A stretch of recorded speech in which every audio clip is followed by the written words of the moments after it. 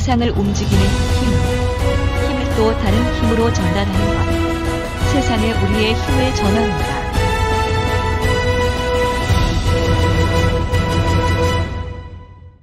저 이미 도전은 시작되고요. 그 에너지 유망 수출 동행 사업으로 엔텍에 참가하기로 그렇게 결정을 했습니다. 에너지 절감 제품인 변속 유체 커플링을 홍보할 계획이고 기술력이나 아까 열정 이거는 뭐 빠질 수 없다고 생각합니다. 저희가 자동화 쪽에 일을 하고 있습니다. 세계 1등 제품으로 만들고자 하는 게 저희들 바람입니다.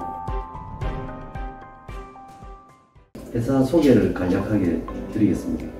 어, 일단 보이지 않는 기술을 먼저 생각합니다. 자, 우리 회사에서는 그 고객의 어떤 작은 소리까지 또 보이지 않는 곳까지 고객 만족을 위해서 이렇게 노력하고 있는 회사입니다. 어, 저희가 생산하는 품목은 flexible shaft coupling, 유성 감속기, 변속 유체 커플링 이렇게 이제 동력 전달 장치에 한해서 저희들이 42년간 이렇게 한 길만 걸어왔습니다. 저 밑에 보시는 그림은 우리 지금 현재 어, 계시는 곳 공장 전경입니다. 여기가 이제 사무동이고요. 그 다음 여기가 중간에 있는 공장동입니다. 공장동 길이가 150m입니다. 그래서 공장이 굉장히 좀 크다고 말씀드릴 수 있고요. 이 앞에 보시는 게 시험동입니다. 네, 어, 첫 번째는 이제 커플링 쪽인데, 어, 요 와이어 드럼 커플링, 뭐 철도 차량 커플링, 이렇게 다양한 커플링들이 있습니다. 특히 자랑할 만한 거는 저희들이 철도 차량 커플링, 이 커플링은 국내에서 유일하게 저희 나라 코퍼레이션에서만 생산을 하고 있습니다.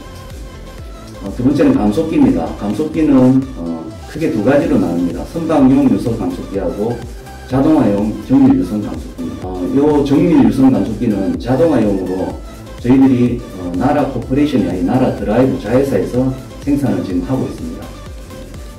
다음은 정밀 부품입니다. K9 전차에 보면 어, fan drive 그러니까 엔진을 식혀주는 유체 coupling입니다.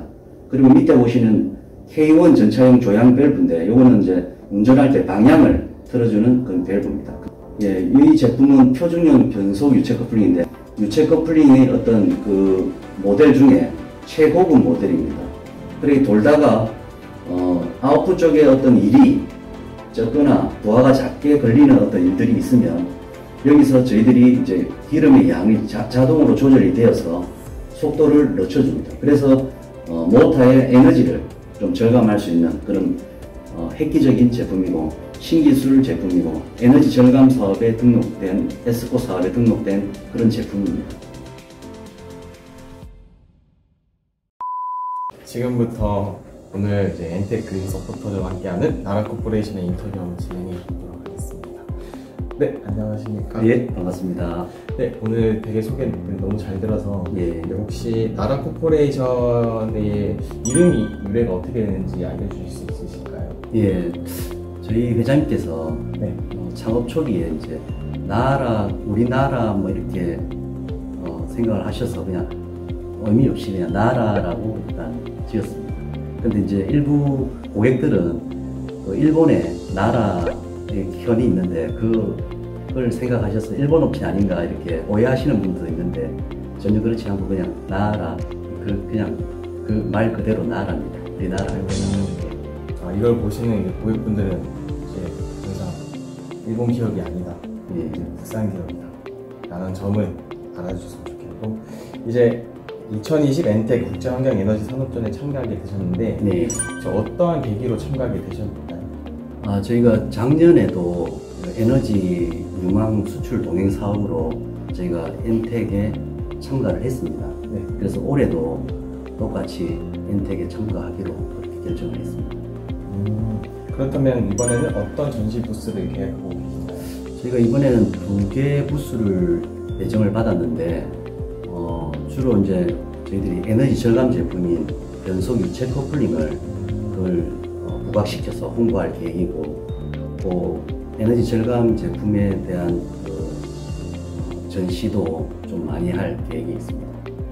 아, 처음에는 이제 커플링이라고 들었을 때 예. 대중들한테 커플링 했을 때 아닌지 아, 생각이 예. 들어서 아 우리도 여기 방문하면 아, 우리끼리, 커, 우리끼리 하나 해달라고 하자라고 이렇게 부탁하는 예. 그럼 제가 정말 원망스럽네요 뭐 이제 현재 선박이나 풍력 발전 그리고 앞서 말씀하셨던 것처럼 방위 사업에도 예. 이제 다양한 사업 분야에 주력하고 계신데 예. 네, 앞으로도 또 어떤 분야에서 도전을 하고 싶으신지 저 이미 이제 도전은 시작됐고요. 네. 저희가 자동화 쪽에 어, 차세대 먹거리로 그 유선 감속기라고 정밀 유선 감속기라고 있습니다. 거기 이제 나라 드라이브라고 저희 자회사에서 시작을 했고 그 제품을 좀 더 홍보를 해서 어, 세계 1등 제품으로 만들고자 하는 게 저희들 바람입니다.